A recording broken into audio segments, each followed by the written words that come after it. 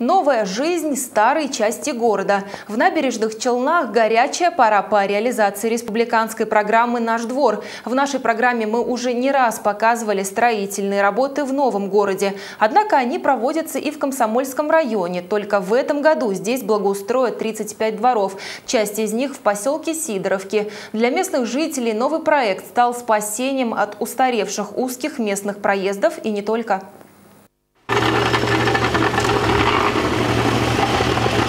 У дома С1 в поселке Сидоровке кипит работа. Рабочие укладывают асфальт на тротуары. Пешеходные дорожки, к слову, стали почти вдвое шире. Вообще о комфорте здесь позаботились основательно. Пешеходные зоны отделят полусферами, чтобы авто невозможно было припарковать на тротуаре или зеленой зоне. Но для автомобилистов здесь только плюсы. 54 новых машиномест. Тут предусмотрены новые парковочные места, также будет обустроен парк за домом.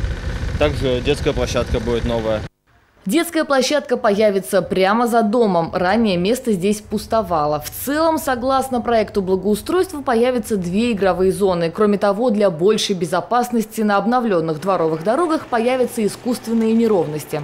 Сейчас вот ремонт делают, и ремонт домов такой красивый сделали. Ходишь и только радуешься. Я очень благодарна строителям. Молодцы ребята.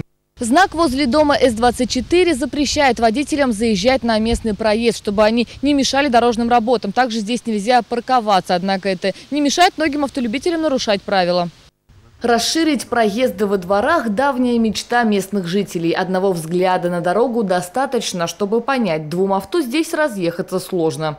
С 70-х годов дороги же. Сказали, расширять будут туда-сюда все. Вот там везде делают, а здесь что-то только начало идет. Рабочие сообщили, что отправятся к С-24 в ближайшее время. К слову, после работ дорожных обновят освещение. На территории появится почти полсотни новых опор. Виктория Евсеева, Ильнар Мустафин, Челны, 24.